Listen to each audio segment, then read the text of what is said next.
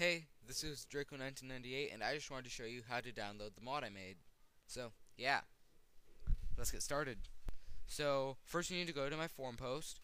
It is called Minecraft 1.8 Extra Armor mod. So, you search that. Then you go to my forum post. You scroll down and there will be the how to download section. You click show spoiler.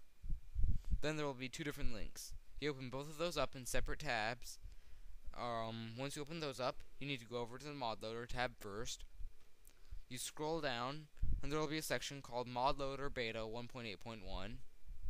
Once you find that, you click the Download AdFly. Once you go to that page, there will be the ad typical AdFly ad. You just wait for the commercial to end, and then you click Skip Ad. Um, once you do that, it will instantly take you to the mod loader it will instantly start downloading once you click skip ad. So once you download ModLoader, it will probably take a little bit because it's pretty big. So once you download that, you go over to Extra Armor 1.4 or whatever stage I'm on at the time. It could be 1.4 or it could be 1.5 or it could be 10.1 for all I know. It just depends on when you're watching this video. So then you click click here to start download from MediaFire and the typical little page will pop up. You just X off that, and then you go over to your downloads, and it will be right there. So now you're fi you finished downloading stuff. Now you can X off those pages and minimize the internet. Now you hit the Windows key and the R key at the same time, and then it will pop up Run. You type in percent app data percent and click OK.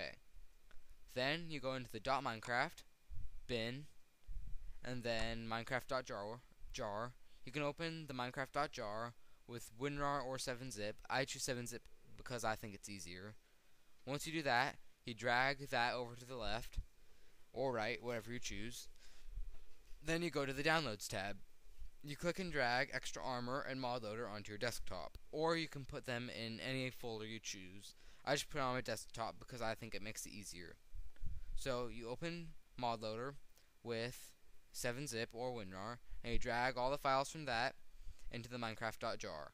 Once you do that, you've successfully installed ModLoader. You just X off that, and then you open MyMod up with 7-zip or WinRAR. You open up the file that says put these pictures into your armor folder, and then you drag those into the armor folder. It's that simple. It kind of describes itself. I just thought I'd say that. And then you go back, and then you put everything else in my mod folder, into your Minecraft.jar.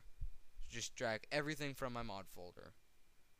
It's really simple. The only thing you don't drag over is the put these into your armor folder because you already used that. Once you drag everything over, you've successfully installed my mod. But unless you delete the meta INF, you'll get a black screen.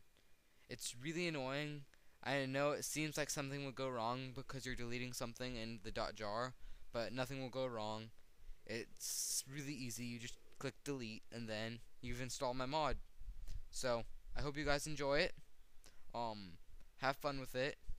And I hope you enjoyed my tutorial. Thanks. Bye.